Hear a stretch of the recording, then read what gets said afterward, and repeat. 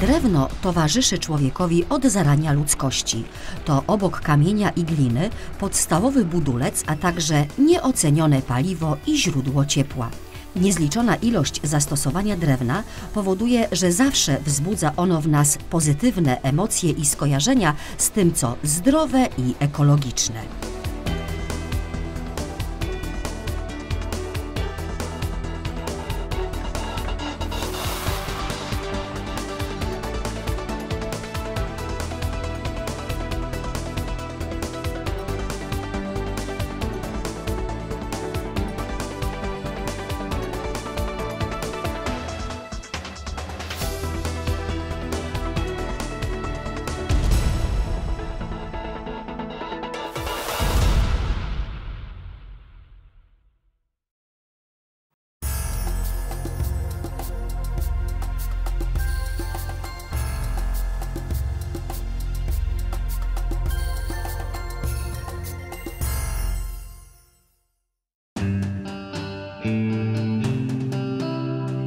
Drewno jest właściwie jedynym z powszechnie znanych materiałów w pełni odtwarzalnym przez przyrodę. Jego masa przybywa bez żadnych ujemnych skutków dla środowiska i człowieka, a produkcja drewna jest stosunkowo niedroga. Z uwagi na swoje właściwości, drewno to doskonały budulec. Pomimo zmian technologicznych w budownictwie, drewniany dom ciągle postrzegany jest jako bardzo zdrowy i ekonomiczny. Drewno jest także wykorzystywane w konstrukcjach więźby dachowej, stolarce okiennej i drzwiowej oraz przy wykańczaniu wnętrz. To nie jedyne możliwości wykorzystania drewna. Warto pamiętać, że drewno to także doskonały surowiec do produkcji różnych, niezbędnych człowiekowi produktów. Nieocenione właściwości drewna widać także, gdy wykorzystujemy je jako opał. To odnawialny surowiec energetyczny, którego zasoby stale i systematycznie wzrastają.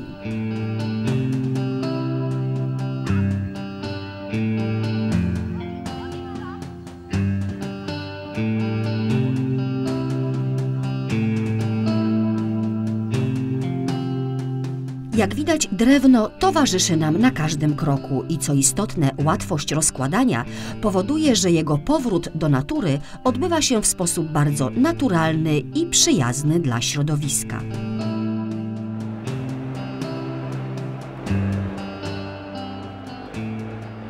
Popyt na drewno jest bardzo duży i zapewne długo taki jeszcze będzie.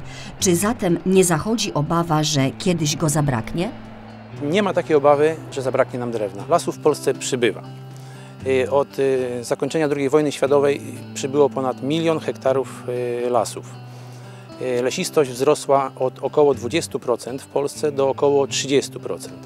Poza tym wzrasta również średnia zasobność, zasobność na hektarze lasu. Możemy się tu pochwalić, że nasza zasobność w Polsce jest ponad dwukrotnie większa niż średnia w krajach Unii Europejskiej.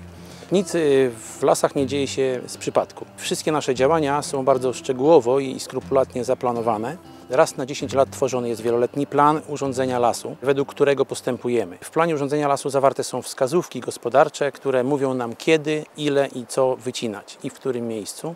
Najlepsza pora na wycięcie lasu to oczywiście dawniej zdecydowanie pora zimowa dlatego że drzewa znajdują się wtedy w spoczynku i bardziej takie pozyskane, wycięte mm, drzewo zimą jest obrobić, czy w tartaku, czy, czy w innych zakładach przetwórstwa drzewnego. Natomiast obecnie tak naprawdę podaż stymulowany jest przez popyt. E, wysoka technologia e, produkcji drewna, obróbki drewna powoduje, że wysokospecjalistyczne suszarnie pozwalają na pozyskiwanie drewna w zasadzie przez okrągły rok. Przy większości prac związanych z wycinką drzew używa się wielofunkcyjnych kombajnów leśnych, tzw. Tak harwesterów czy forwarderów. Taki harwester nie dość, że ścina, to przeżyna y, na odpowiednie odcinki, jednocześnie mierzy to drewno również. Z kolei następna maszyna forwarder potrafi załadować na swoją przyczepę bardzo dużo tego drewna i dotransportować to drewno do drogi wywozowej. Surowiec drzewny jest surowcem całkowicie odnawialnym. W nadleśnictwie Pisz pozyskujemy średnio rocznie około 145 tysięcy metrów sześciennych drewna. przy jednoczesnym zalesianiu, y, odnawianiu tej powierzchni, którą wycinamy. Średnio w Polsce wycina się około 50-60% rocznego przyrostu, czyli ponad 40% rocznie odkłada się na następny okres. Podobnież jest y, w Piszu, również wycinamy mniej niż przyrasta na hektarze w ciągu roku. Lasów nie ubywa, lasów w Polsce przybywa.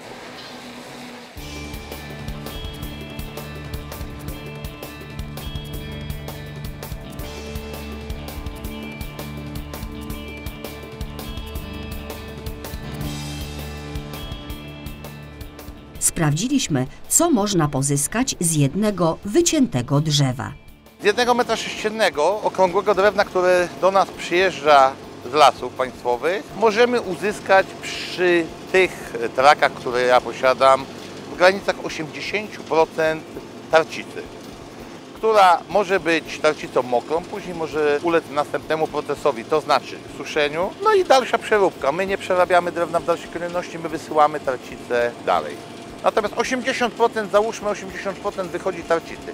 Cała reszta to jest e, trocina, te 20% i odpad, na którą też znaleźliśmy sposób, bo trocina jest albo spalana w tutejszej kotłowni w zakładzie, gdzie no wiadomo potrzebujemy energię cieplną, e, na, albo jeżeli jest jej nadmiar, e, trocina jest sprzedawana i ta trocina jest używana przy produkcji peletu, sławny materiał opołowy.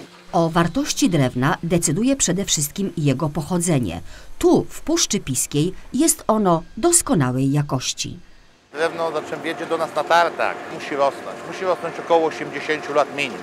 Dopiero osiąga ten wiek rębny. Jeżeli te siedliska e, są dobre, tak jak tutaj w tej Puszczy Piskiej, drewno e, samo w sobie jest w środku dużo lepsze. My e, globalnie przerabiamy sosnę. Mazurską sosnę, która sławna jest na całą Europę i na cały świat.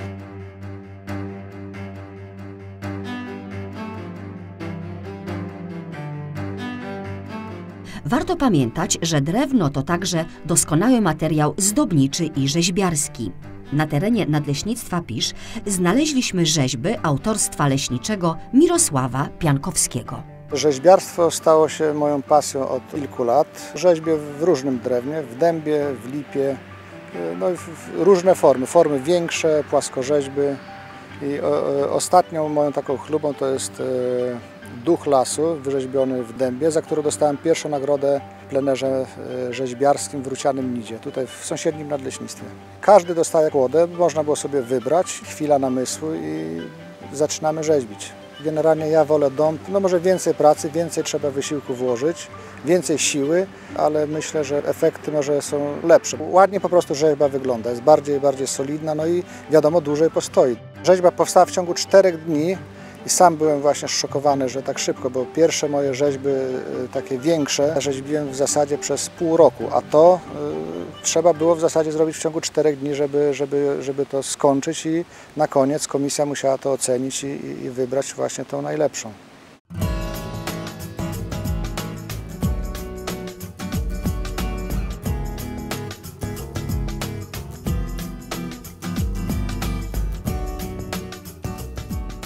Nadleśnictwie Pisz przeważa drzewostan sosnowy. To właśnie sosna, królowa Puszczy Piskiej, jest najcenniejszym gatunkiem na tym terenie. Sosna piska charakteryzuje się bardzo dobrą jakością techniczną. Posiada e, gonne, walcowate strzały. Dorasta do 40 metrów. E, Charakteryzuje się dużą energią wzrostu. Jest właściwie mało podatna na e, osódkę, na wiatrołomy i na przymrozki. E, Potrafi też dostosować się do siedlisk.